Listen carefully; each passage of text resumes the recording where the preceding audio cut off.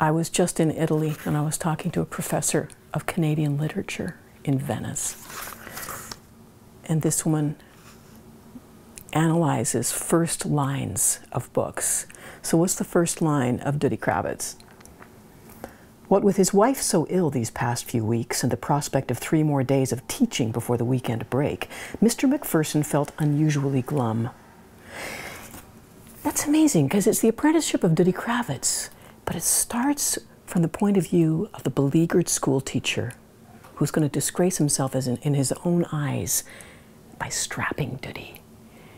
And we're going to find out just what a little prick Duddy is. And then the author is going to challenge us to stay with him for his whole story. And he's going to break our heart, and we're going to love him, and we're going to just question that love every every inch of the way. I, I read this when I was 14. It was published when I was six months old. And uh, I loved it. I read it many, many times after that. And I ended up writing a preface for the last edition, which was possibly the most, one of the most surprising little chapters in my own literary career would be that I'd be called upon to write a preface for the apprenticeship of Duddy Kravitz. And more on that later. What's the first what's the first line of Barney's version?